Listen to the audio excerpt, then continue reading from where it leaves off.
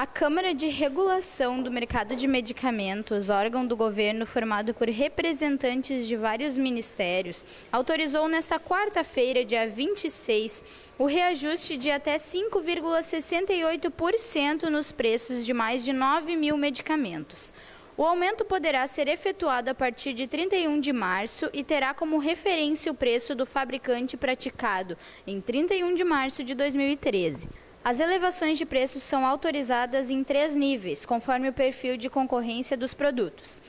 A autorização para reajuste leva em consideração três faixas de medicamento, com mais ou menos participações de genéricos.